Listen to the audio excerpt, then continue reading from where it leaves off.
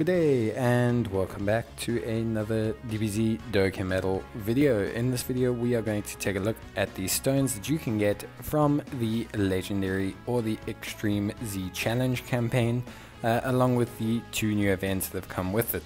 So in total for this campaign uh, we're looking at a decent amount of stones. We're looking at about 28 stones in total. So you get the Extreme campaign, these are the special missions that are associated with Awakening Trunks and we're looking at about 15 stones from here for the various steps of the awakening along with 5 Elder Kais and those 5 Elder Kais will be refunded to you once he hits the max SA of 25.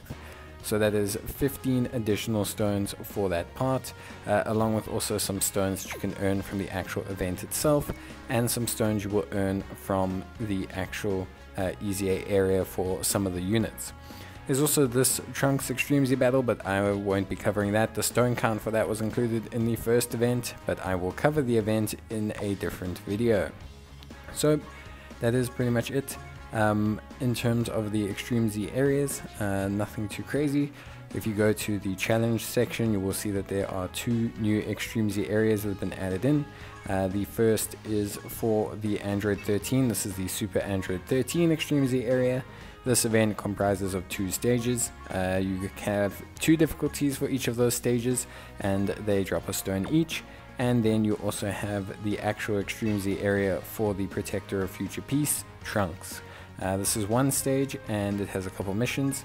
These missions drop seven stones in total. So you have the six stones from the first event, plus the seven from the missions here, plus the one stone from here. So you're looking at 14 stones there.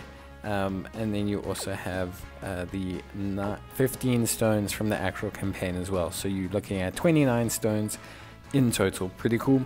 I'll be covering the Android 13 Extreme Z area separately, and I'll be covering the Trunks one separately as well.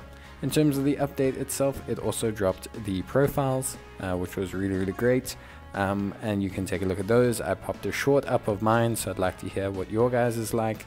Uh, and there was a reopening of a couple other events, along with also some more data download stuff. So that is pretty much it. But that's it from me. Hope you enjoyed the video. Leave a like if you did, and I'll see you next time. Bye.